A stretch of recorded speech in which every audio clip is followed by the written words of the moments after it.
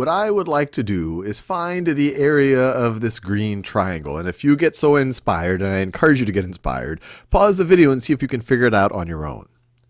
So whenever you start thinking about areas of triangle, or at least my brain says, well look, I can figure out the area of a triangle if I know the base and the height of the triangle. I can just multiply them and then multiply that by 1 half. So for example, if I have a triangle that looks like this, a triangle that looks like this, and if if this is the base, this is B right over here, the length of this side is B. Let me put the B in magenta, and then the height let me do that in yellow. This is the height. This is the height. Then I just multiply base times height times 1 half, and I'll get the area of this triangle. Or if the triangle looked like this, if it looked like, if it looked like this, if it looked like this, I could do the same thing.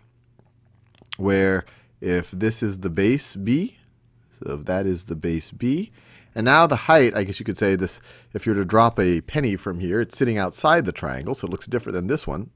But this would still be the height. This would still be the height. Right over here, you do the same thing. 1 half times base times height would give you the area of this triangle. So how can we apply that over here? Well, this triangle is on this grid, but it's kind of at an angle with this grid. It's hard to pick out the base and the height for, uh, for this triangle as a whole. But what we could do, there's actually several ways that we can approach this, is we can break this triangle up into two or more triangles where we can figure out the base and the height for each of them. So for example, I can break this one. Let's see, I could, I'm picking this point and this point because it breaks it up into two triangles where I can figure out the base and the height. Well, what am I talking about? Well, this triangle over here that I am shading in blue if I, and I've switched the orientation, I've rotated 90 degrees, but if you view this yellow, if you view this yellow as the base of this triangle, you see that the base is 3. So let me write the base is equal to 3 units. And what's the height here? Well, the height here is going to be, the height here is going to be this distance right over here, which is 4. Height is equal to 4. So the area, the area of that triangle right over there is going to be 1 half times 3 times 4, which is equal to 6. So this part right over here, the area is 6. And now we can do a similar thing with this other triangle. Because once again, we can view this yellow line, or now this yellow and blue line, as the base. The base is equal to 3.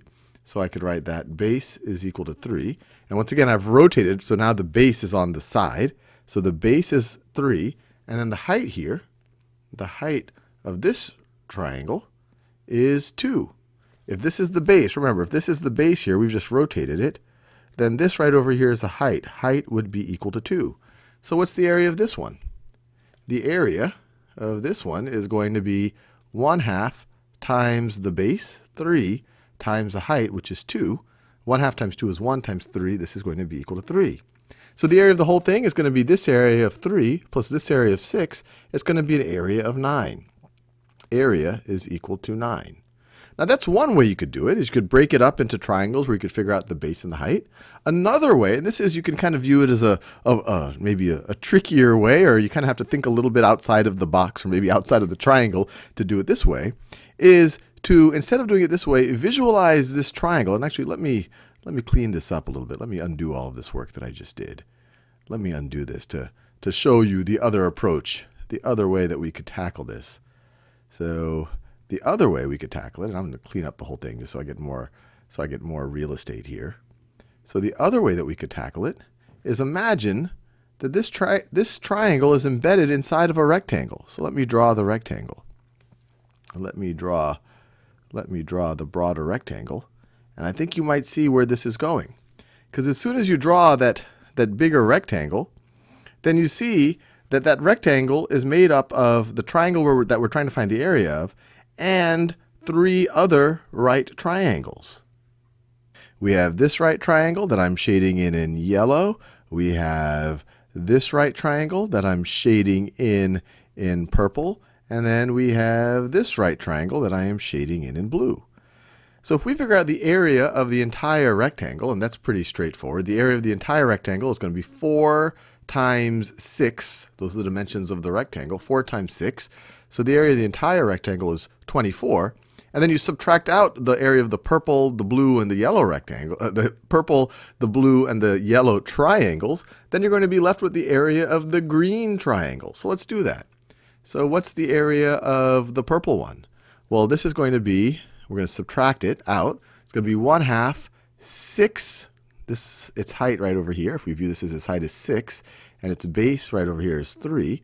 So it's going to be 1 half times 6 times 3. That's the area of the purple triangle. And then you have the blue one. This is going to be minus 1 half. Let's see, you could say its height is 1. So this is 1. And then this base you could say is 4. So that's 4 times 4. And then we want to subtract out the area of the yellow rectangle. So this is minus 1 half. Let's see, we can make this base 2 1 half times 2 times, and this height is 4. 2 times 4. So what's this going to be? Well, let's see. 1 half times 6 times 3, that's 3 times 3. That's going to be 9. 1 half times 1 times 4, that's going to be 2. And then 1 half times 2 times 4, well, that's just going to be 4. And so we're left with 24 minus 9 minus 2 minus 4.